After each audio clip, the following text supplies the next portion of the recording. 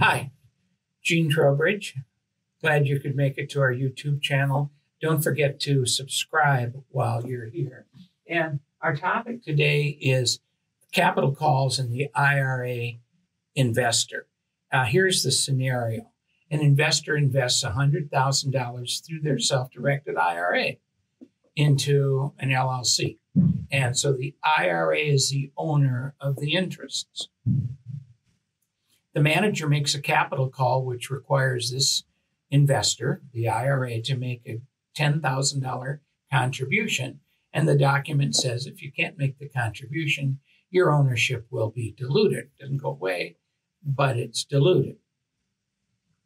Well, in the situation we found ourselves in, one investor's IRA did not have the $10,000 available to make the uh, contribution. What can the investor do?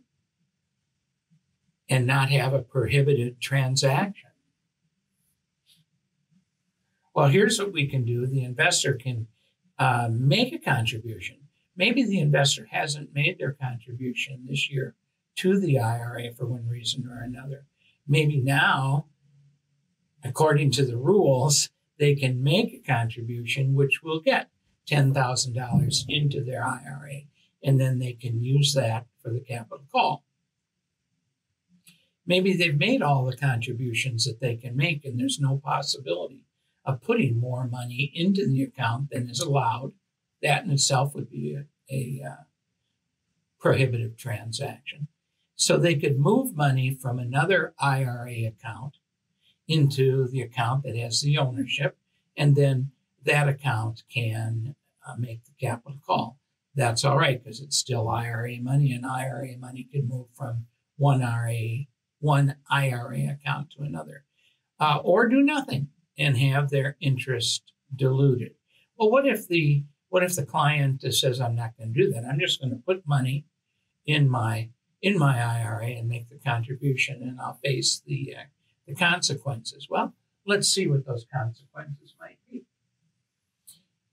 on a disqualified transaction, which would be uh, making a second contribution to your IRA in a year, or taking money out of your own pocket and uh, paying for uh, the distribution, the capital call.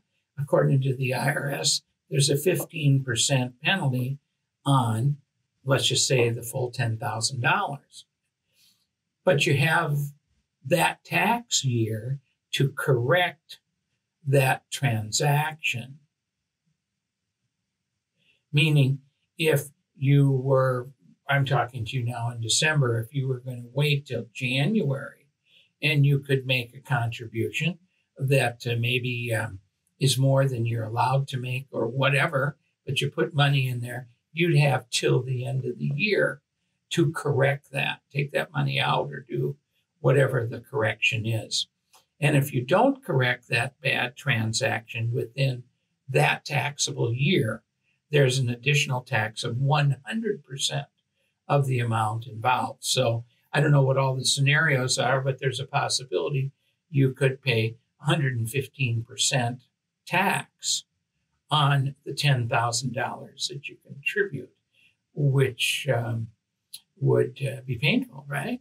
So it's a complicated situation. My advice is that if you're a sponsor and your IRA investor comes to you and says, geez, I'd like to make the $10,000 contribution, but I don't have it in my account. What am I going to do? Call the IRA professional. We all have a, person who runs uh, the account.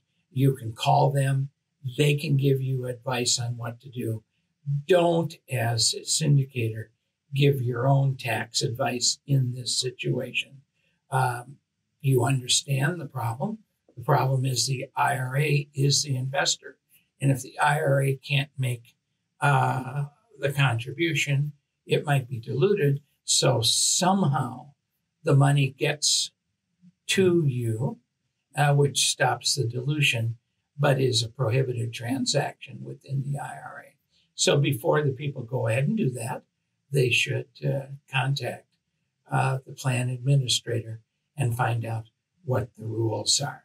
So I thought that was important, and you have to be careful. Be careful of that right now. Just uh, if you're a fund, if you're running a syndication, and your investors are IRA investors, uh, be careful.